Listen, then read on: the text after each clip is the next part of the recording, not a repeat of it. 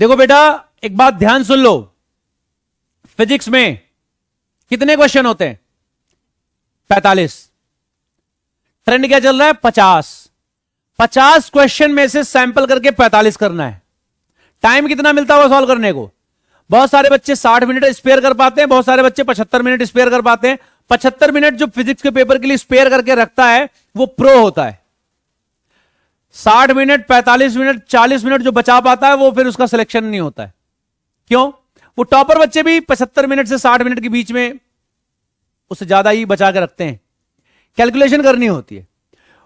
सोचो 45 क्वेश्चन करना है 60 से 75 मिनट का टाइम है तो पर क्वेश्चन डेढ़ मिनट से ज़्यादा का टाइम मुश्किल ही मिलता है। डेढ़ मिनट, पौने दो मिनट 1.5 1.75 मिनट्स का टाइम मिलता है आपको। उस टाइम में आपको क्वेश्चन पढ़ना है क्वेश्चन पढ़ने में लगते हैं तीस सेकेंड कभी कभी बीस सेकेंड लगते हैं कभी कभी पच्चीस सेकंड लगते हैं, कभी चालीस लगते हैं।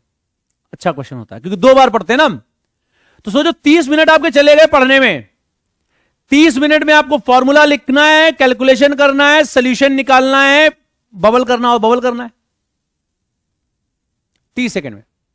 चालीस सेकेंड मान लो। है ना? बहुत डिफ़िकल्ट टास्क है बेटा ये। इजी नहीं है। समझ हो बेटा?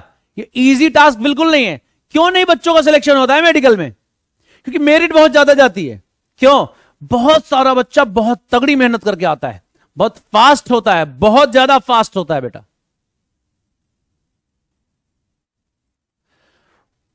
बहुत सारे बच्चे, आप में से बहुत सारे बच्चे ऑलमोस्ट सभी बच्चे अभी जो हम पढ़ा रहे हैं, हो सकता है किसी किसी को आसान लगे किसी किसी को डिफ़िकल्ट लगे, किसी को लगे टेंथ क्लास है, किसी को लगे नाइन्थ क्लास है लेकिन एट द एंड जैसे मैं प्रोजेक्टाइल खत्म करूँगा laws of motion work energy rotation यहाँ सब जाऊँगा तो आप बोलोगे सर न्यूमेरिकल्स नहीं होते. Sir how to improve calculations sir हम कैसे अपनी स्पीड बढ़ाएँ? यही क्वेश्चन पूछते हो ना? हमसे नहीं, अपने आप से पूछते होगे। पूछते हो ना बेटा? कैसे हम अपनी स्पीड बढ़ाएँ, कैसे हम कैलकुलेशन करें? बेटा, उन सबका जवाब यहाँ है। आप ये बेसिक मैथमेटिक्स अच्छे से कर लो आपकी स्पीड बढ़ जाएगी, आपकी कैलकुलेशन स्पीड बढ़ जाएगी, आपसे न्यूमेरिकल होने लग जाएँगे, आपको इंटरेस्ट आने लग जाएगा ना? इसलिए इसको आप अच्छे से करिए बेटा, ठीक है?